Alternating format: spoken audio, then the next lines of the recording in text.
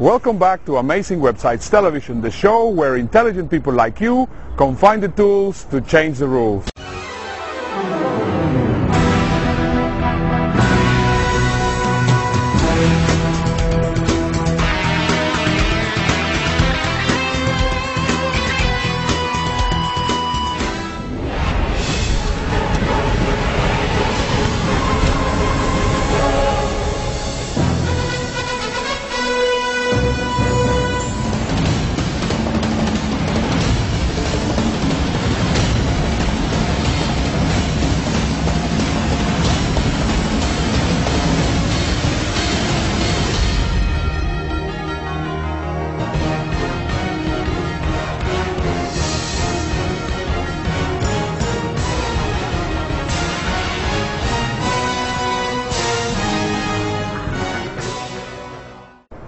So welcome back to the show. Once again, I am in uh, Dubai. This is the Dubai Marina, which is very, very beautiful. And uh, on today's uh, episode, we're going to be having uh, Simon Leung, which is the Google Insider, and he's going to be sharing with us some really cool information about uh, how Google is actually index indexing new websites and a lot of SEO and SEM uh, information. We're also going to be having James Schramko and a lot of really cool uh, tools and apps that you will really be enjoying. So let's just get started with the first section of the show, which is going to be handy bookmarks.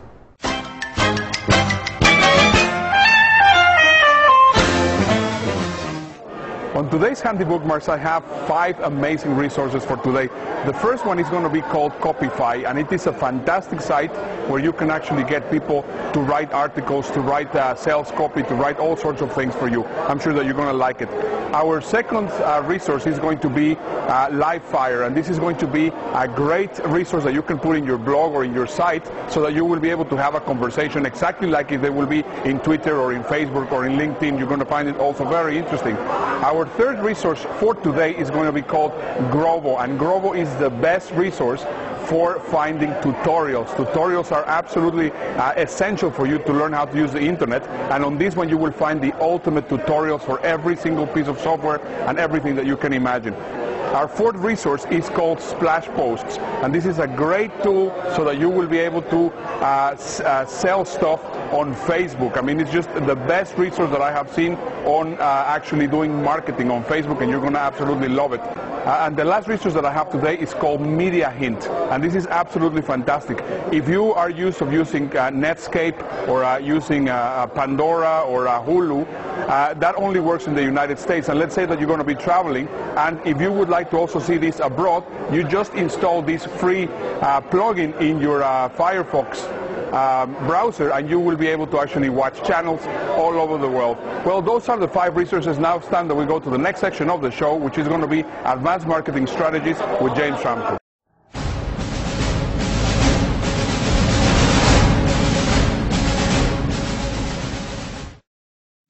James Schramko here with an SEO news tip. This week I'm going to cover how you can find out what Google would like your site to be about. So here's an exercise. Go to your website and have a look at some of the words on your page or perhaps your page title. Type in your main topic into the Google search box. Then scroll down to the bottom of the page and see what the related searches are. That's what Google would like to see on your website where relevant. So let's just take an example. We would search for office equipment. That might be a search phrase. And then we will scroll down to the bottom of the page and we will see what the related phrases are. Now, if I was in that business and I had any of these related searches, then I would be making sure that I make one page per related topic and then I'll make sure these are findable with my navigation structure on my website. That way Google is getting a really good feel for what your site's about and it's relevant. The next step, of course, is to put really useful content on each page. Pictures of what the page is about.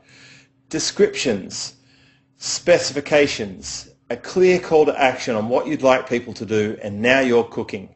You've got a good website with good SEO that is valuable for a human. You might even get the phone to call or forms filled out or someone ordering something if you keep doing this. If you could do this 10 times a week, you would end up with a huge website in just one year from now. So go and do the exercise. Go to Google, type in the phrase that describes your business in the same sort of detail that someone searching for your business would use and scroll down to the bottom of the page and see what the related terms are and start building out your website.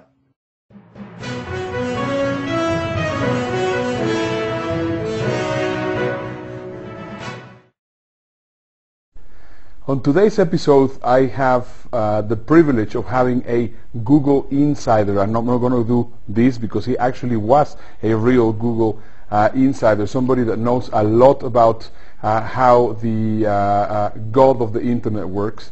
And uh, he's my very good friend, which now lives in Hong Kong, but he's from the U.S., my friend Simon Leung. Simon, welcome to the show. Thanks, Ernesto. Thanks for having me. Yeah, great. Um, you know, I, am always fascinated about all the stories that you have about uh, your time with Google and all the things that uh, happen, uh, that are happening right now. You're really up to date with all the crazy things that Google sure. is doing and uh, and how they are affecting all the businesses in the world. So, can you, well, just very briefly uh, give us a little bit of background of uh, what you're doing uh, right now and also a little bit of your, your story in Google? Wow, a little bit. Huh? I can go all day on yeah, this. Just, just try to reduce a huge, a huge story kidding, in about kidding, one minute. uh, well, basically, uh, my background is at Google, as you mentioned. I started working at Google back in 2002 in the Google advertising department, which is called Google AdWords. And I helped them really from the ground up build the optimization team, the agency team. So I'm really involved uh, in terms of developing all the strategies and managing the high-end clients. I decided to leave Google and start working for myself as an internet entrepreneur in August of 2006 and that was because you know there were just so many different things in terms of opportunities, in terms of what I felt like you know the corporate lifestyle was not for me, and internet entrepreneurship, you know, going around traveling the world, t-shirts and jeans, sometimes shorts, you know, it, it was just more of a lifestyle for me. So that was the path that I chose, and never looked back since you know, uh, started off really working from home, um, doing the whole internet marketing thing from home, and um, and then later on really expanded into uh, building different companies across the world. We have a team of 100 people out in China just for outsourcing clients uh, for SEO and search engine marketing, things like that. Um, my partner actually focuses on that most of the time. What I mostly focus on now is going around and really traveling and, and speaking at seminars and doing my own workshops within the last year. Traveled across 15 countries, uh, probably about 200 dates. You know, so you know, it is a, a pretty adventurous type career path that I chose for my business, uh, but at the same time, very much enjoying it because you know I get to meet people like you, get to you know come speak at events. Um, here in the UAE with you and uh, meet a lot of fellow speakers and great attendees as well. So having a blast. Fantastic you were talking about the corporate world being too different, but from what I understand, the Googleplex is uh, very, very uh, chilled and relaxed. Is that true? that is very true in terms of the culture itself. Uh, however, I, will probably say, you know, over the course of the years, things have been changing a lot. I mean, you see during my presentations pictures with me, you know, with all these different parties, all these different ski trips, Christmas parties, um, in T-shirts and shorts and that was basically the Google culture. You know, they wanted to be bubbly, they wanted to be fun, and that was what it was. At the end of the day, however, it was a corporate environment. We were a client-facing department. We had clients coming in every single day for client meetings. We were also traveling uh, for, the, for those client meetings all across America as well at the time. So we couldn't actually go into those meetings wearing t-shirts and shorts. You know, it was more corporate, it was more polished. So I would probably say, you know, I was just a little bit too spoiled for my own good. You know, I, I started working at Google, and that was the culture. The whole company was that culture. And then later on, we kind of evolved into you know more corporate, more professional, and you know I'm just uh, too spoiled. just give us some uh, cool tips of what people need to do on their website and off their websites to actually get their, their uh, websites optimized? Sure. The first thing that you absolutely must do is you need to know what keywords you're going to be optimizing for. Because what many people make the mistake of doing is they're trying to optimize for everything under the sun that's related to their particular page. You know, if they're a traveling page, they want to have have you know keywords related to flights, related to hotels, related to flight attendants, and you know all these flight travel accessories. You know, all these things just aren't relevant. And what we actually recommend is per page, if possible, optimize for anywhere between one to three keywords. Look into the title tags, the meta tags, the meta descriptions, um, and make sure that everything is optimized on page and, and, this is actually not something that you know you need to learn from me just because it's standard search engine optimization training that anybody can teach. The off-page stuff, on the other hand, is something that is a little bit more, um, I would probably say, proprietary in terms of what you can do to revolutionize and distinguish yourself from many of your competitors, and that is basically um, the, the use of Google properties when Google is looking for what we're calling backlinks, you know, if you don't know what a backlink is, it basically means, let's say I'm, I'm a web page and we had, you know, 500 attendees. Let's just say that we are all websites. If, we, if all 500 attendees stand up and point at me, that is considered a backlink. Well, in addition to just regular backlinks, there's also something called authority backlinks, which basically is in the eyes of Google. They want to see other people who might be relevant or also high in authority point back at you. So, for example, those 500 backlinks from those 500 attendees pointing at me, standing up and saying, hey, I'm the internet marketing or Google marketing expert, they're not going to stand a chance against somebody like Ernesto, for example, who is very well known already in the industry, and he stands up and he points at me and he says, he is the Google expert expert. So when Google looks at things like that, they want to see things that are high in authority. And for Google, Google is Google's num number one fan. You know, they like themselves the most. So when you think about how you can leverage yourself and have a high authority website point back at you, it's just as easy as creating a lot of Google property accounts, like Blogger, owned by Google, YouTube, owned by Google, Google Profiles, owned by Google, Google Sites, owned by Google. You know, so basically what you're going to do is you're going to figure out what Google considers to be high authority, including the Google properties, go ahead and create different links for that and then point it back to your own website using the keyword that you want to optimize for. Um, that's probably one of the very big things that many people are not using today because they're not so much aware of it. They're still using, you know, a lot of the social media, social networking, Web 2.0 sites, which work to a certain extent, but in terms of high authority, not all of them are high in authority. And for Google, Google.com is just top of the top in the food chain, you know, when it comes to authority sites. Just give us some really quick pointers on uh, PPC, sure. uh, pay-per-click, uh, Google AdWords. What is the best way, what are the, the, the, the elements that, uh, for a very beginner, to start uh, advertising and being successful on uh, Google AdWords because now it's very, very expensive, the clicks, but I know sure. that there's ways in how you can actually reduce the cost. Right. When it comes to pay-per-click, just like when it comes to anything else that Google puts their hands on, you know, it, it all comes down to user experience and relevancy. So when you want to have the best possible AdWords campaign, a lot of people, you know, very similar to search engine optimization, they try to find every keyword under the sun, and then they put them all into the same campaign, into what they call the same ad group and things like that.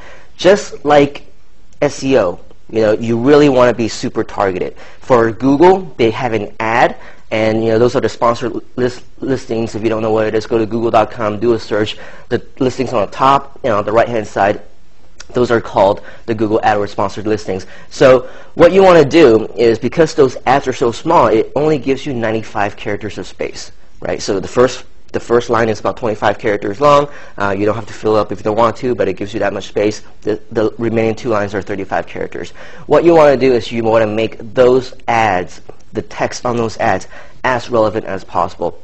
Now, obviously, there's a second component to that, which is keywords. So when you're optimizing for a certain page, let's just say a UAE event or, you know, or a, an event in Dubai, you want a keyword like Dubai seminar or Dubai seminars, which is really, really targeted, and you don't want to have too many variations of it. You can have Dubai seminar, Dubai internet marketing seminar, Dubai internet seminar, and put those all in the same ad group. So in the ad text, you can then put Dubai internet marketing seminar. That gives you enough room. Right, so you want to be as targeted as possible, um, but you, obviously you want different variations to get more exposure. So you want like maybe Ab Abu Dhabi Internet Marketing Seminar or uh, Internet Marketing Events, Internet Marketing Workshop. Those should all be separated out into different ad groups so that you can actually put those keywords absolutely, you know, the the, the foremost important keywords, Internet Marketing Seminar Dubai, right? You want them all within the ad text.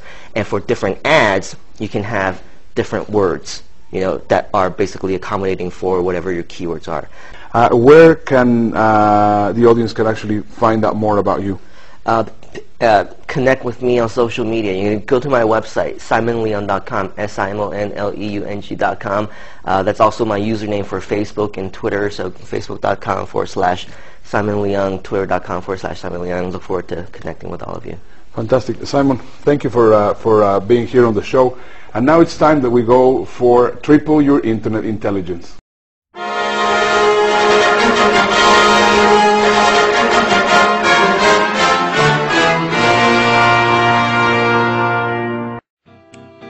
Hi, I'm Hartmut. I'm an engineer at Google. Hi, I'm Shailesh, product manager at Google. We're here to introduce Google Goggles, a visual search application for Android phones. Until now, the only option for web search has been typing or speaking. Now you can search by taking a photo. Let's try this book. Just open Google Goggles, fill as much of the screen as possible with the object, and take a picture. You'll see the exact book match in the search results without typing or saying a word. Another good use is on a business card. Let's try mine. Frame the text you're interested in well. Google Goggles will recognize the text and return a result. Now I can click to call Shailesh or add him to my contacts. Let's go out and see what else Google Goggles can do. We can figure out the title and artist of this painting. Or landmark information.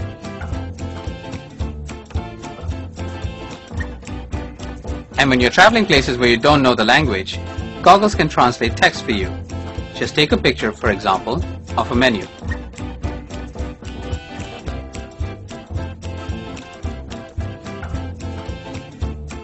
Visual search technology is still in its early stages. It works best on things like we saw today. But it doesn't work well yet on things like food, cars, plants, or animals. As this technology advances, you will be able to do more cool things like suggesting a move in a chess game or taking a picture of a leaf to identify the plant. You might wonder what happens to all these pictures you're taking. You can choose to discard them as soon as the search is done, or save them to your search history to view them at any time. It's available for Android-powered phones now. To download, go to the Android market and search for Google Goggles. Well, I hope that you have really enjoyed the episode and make sure to watch us next week on the next episode of Amazing Websites Television. This is Ernesto Verdugo and uh, we look forward to seeing you next week. Bye-bye.